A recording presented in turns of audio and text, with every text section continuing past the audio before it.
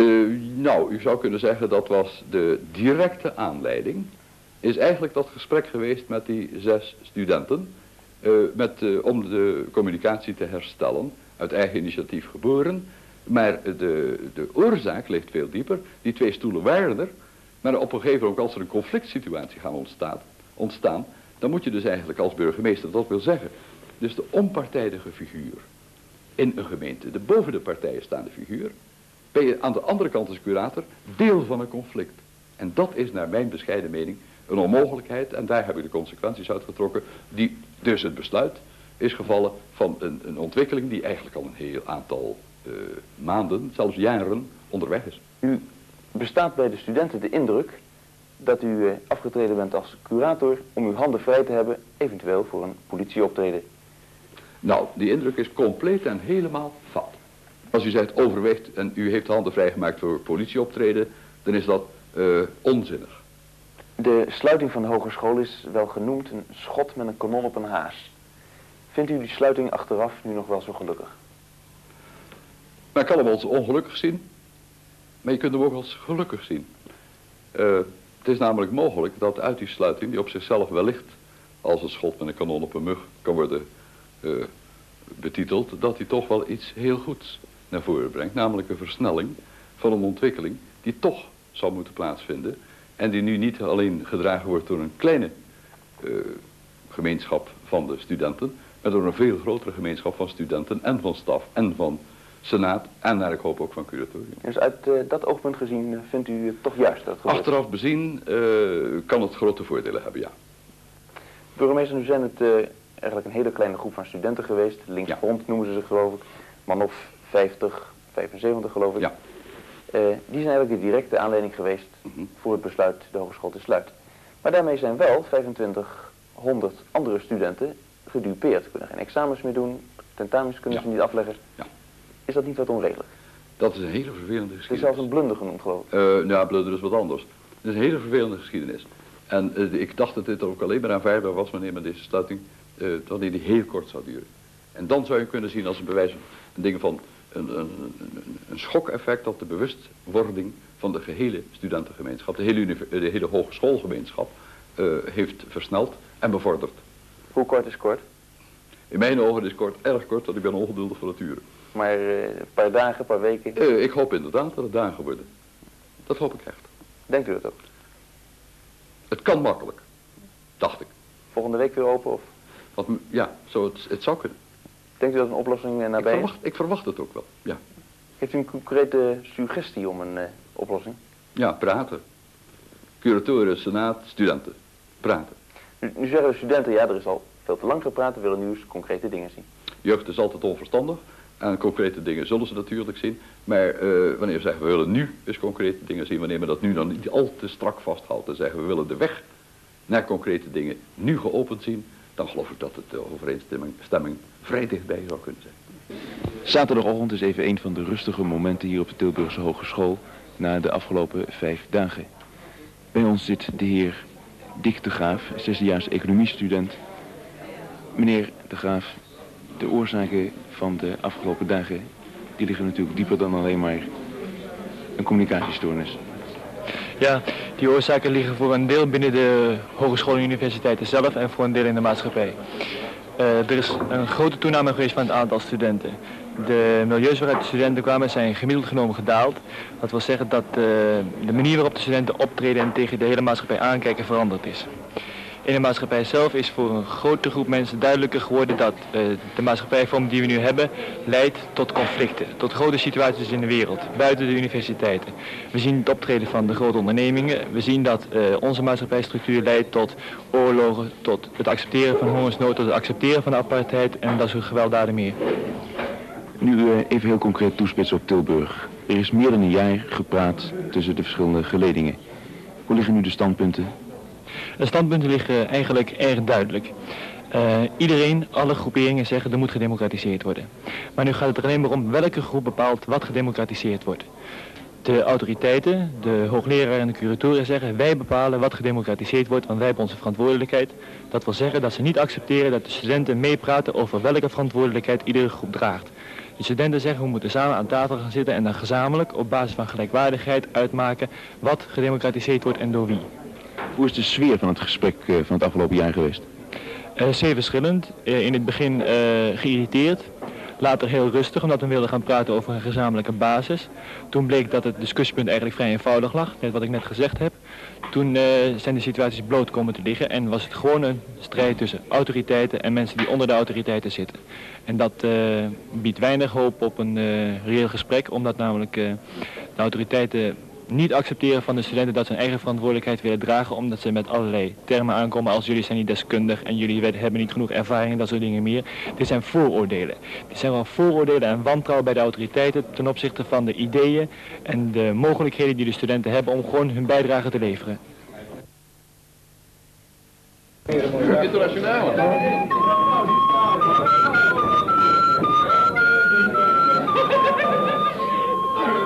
Koninginnedag op de door de studenten bezette katholieke hogeschool in Tilburg.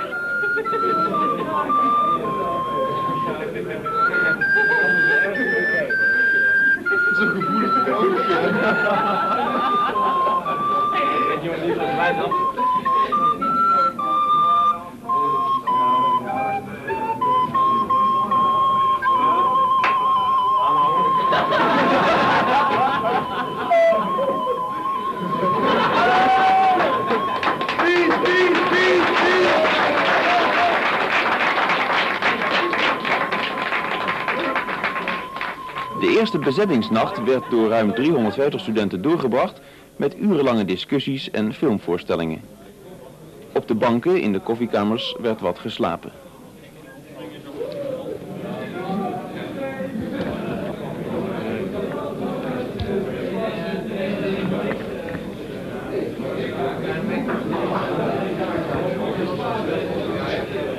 In allerijl werd een extra editie van het Tilburg Studentenblad verzorgd die onder de bevolking zal worden verspreid.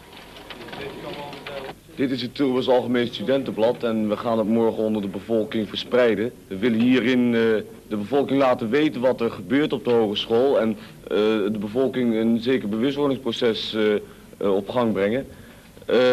daarin staat wat de achtergronden van de Tilburgse studentenoppositie zijn en we proberen aan te tonen dat de situatie van de studenten uh, overeenkomst vertoont met de situatie van uh, uh, de bevolking zelf, met name de arbeiders. De studenten hebben ook de kantine in eigen beheer genomen. Er is een huishoudelijke dienst in het leven geroepen en een ordebewaking. Dit alles om het normale hogeschoolleven zoveel mogelijk doorgang te doen vinden.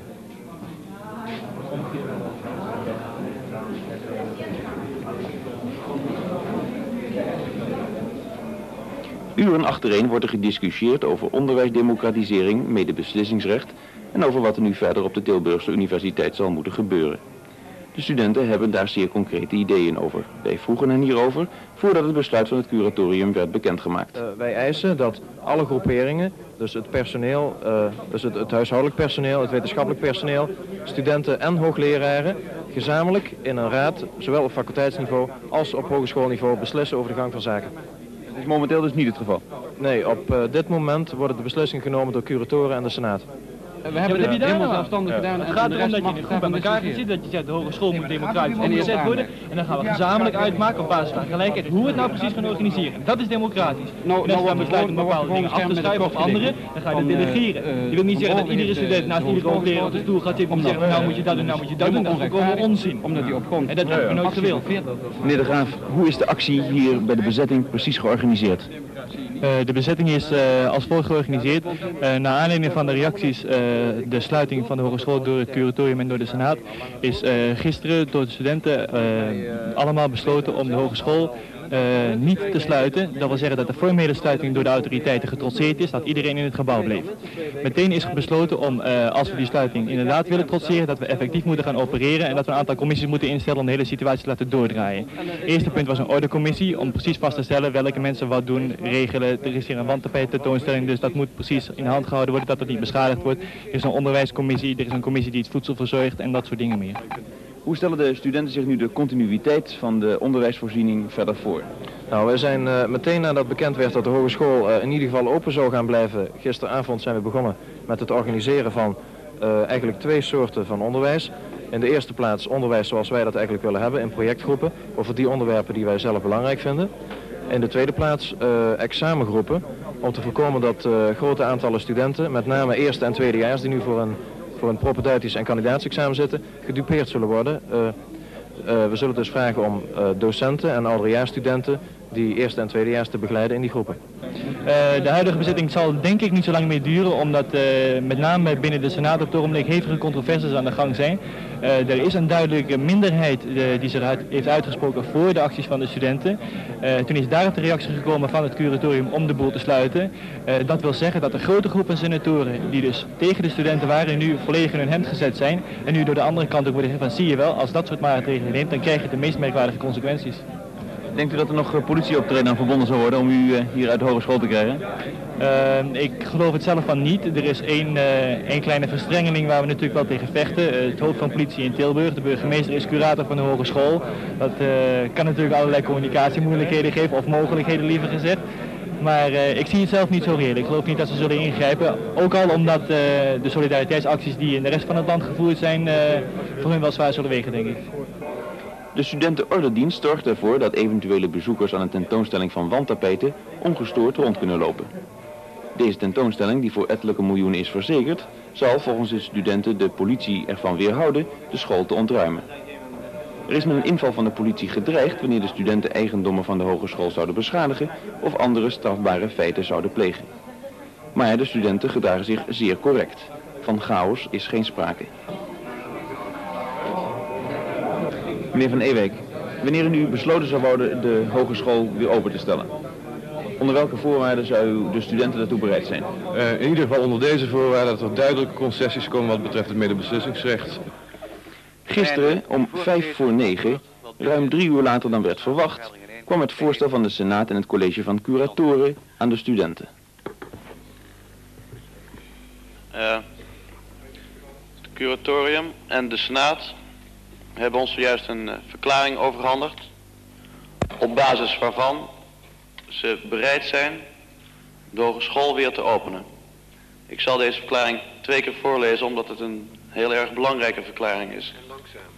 Uh, de sluiting van de hogeschool is opgeheven nadat, nadat door het ADSO-bestuur de verzekering werd gegeven dat de normale gang van zaken in de hogeschool niet meer zal worden belemmerd. Met het ADSO-bestuur is voorts overeengekomen dat voor het houden van discussies door de rector lokalen zullen worden aangewezen wanneer het ADSO-bestuur daarom verzoekt.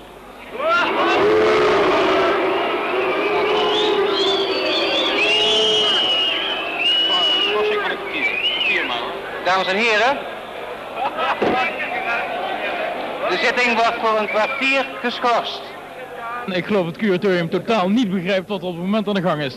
Uh, dat ze met name ook geen enkel uh, onderscheid zien in, in uh, uiterst linkse groeperingen en dergelijke, en gematigde en rechtse.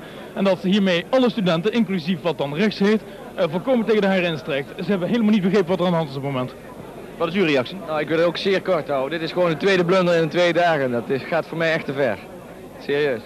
En u? Het is een uiting van een oude rust- en orde mentaliteit. En die uh, gaat helemaal voorbij aan de eigenlijke kwestie. Daar is maar één antwoord op, van boven naar beneden.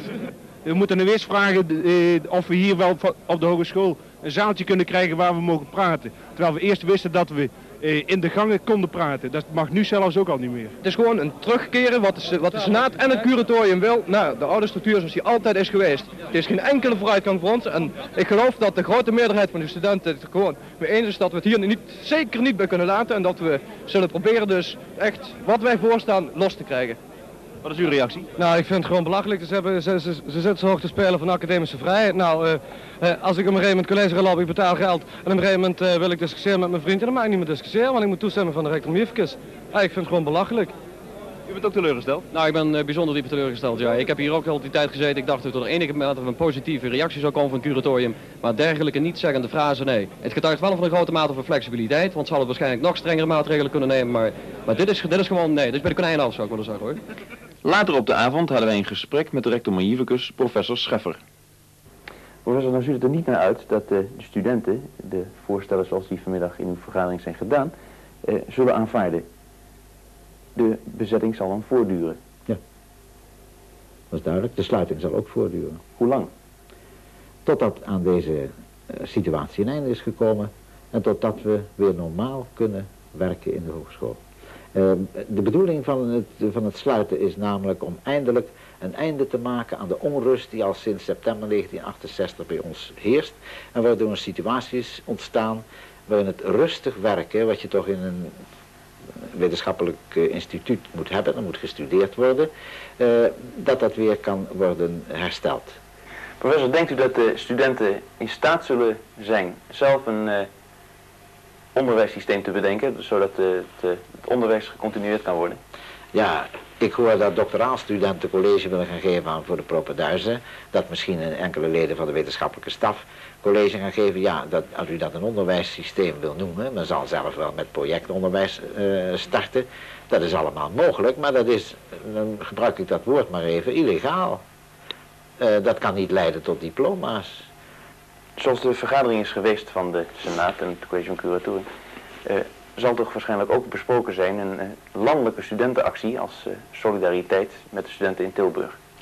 Daar is wel een, onder het oog gezien dat dit allerlei consequenties kan hebben. Maar wij menen dat die consequenties eventueel genomen zouden moeten worden. Dat is allemaal onder het oog gezien. Dus de studenten moeten nu eerst maar eens bij u komen en dan kan het gesprek... bij me komen, of ze, kijk eens, dat kunnen ze ook via intermediair doen. Ze hebben dus goede relaties met bepaalde hoogleraren. Ik dacht dat het beste modus zou zijn te vinden om snel deze sluiting te kunnen beëindigen. Professor, gezien de huidige stand van zaken, de bezetting van de hogeschool, wat is uh, volgens u uh, de oplossing? De oplossing is dat de sluiting van de hogeschool kan worden opgeheven door uh, dat het door de studenten mogelijk gemaakt wordt dat de normale functionering van het hogeschoolbedrijf niet meer wordt belemmerd. Als dat geschiet, dan kunnen we dus weer normaal college geven, tentamen afnemen, examens enzovoorts. En kan zo snel mogelijk ook de discussie over de structuur worden hervat. Maar het is natuurlijk niet mogelijk dat nu bijvoorbeeld de eis van de studenten van om zonder meer maar het medebeslissingsrecht van alle geledingen op alle niveaus te erkennen, dat we dat nu zouden doen onder de druk van deze bezetting. De Senaat die heeft uh, gezegd, wij zijn bereid die noten van die 21 in, bij, de, bij de discussie in aanmerking te nemen. Het curatorium is daar ook toe bereid. Maar we zijn niet bereid om a priori ongedifferentieerd maar ons te verklaren voor het medebeslissingsrecht. Er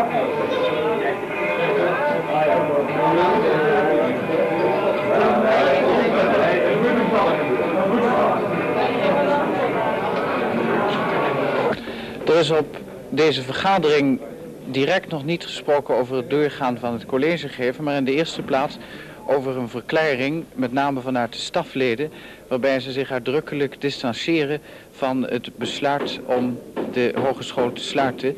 En daarnaast is er uitdrukkelijk in de verklaring, of zal er worden opgenomen, dat de heropening van de hogeschool en de wijze waarop dit zal gebeuren, onderwerp van overleg tussen alle geledingen zal moeten zijn. En die verklaring die zal vanmiddag dus in de vergadering van de staf verder besproken worden. Maar je dacht dat er wel een, eh, een tendens was, bij, uh, zeker bij de wetenschappelijke medewerkers, om toch uh, zoveel mogelijk de colleges door te, doorgang te laten vinden. Uh, die tendentie is er wel, maar dat is op het ogenblik uiteraard bijzonder moeilijk voor de leden van de wetenschappelijke staf, omdat curateuren hebben duidelijk gemaakt dat disciplinaire maatregelen genomen zullen worden tegen degenen die het doen. Dat zou eventueel ontslag betekenen? Uh, dat weet ik niet, maar dat is, dacht ik, wel mogelijk.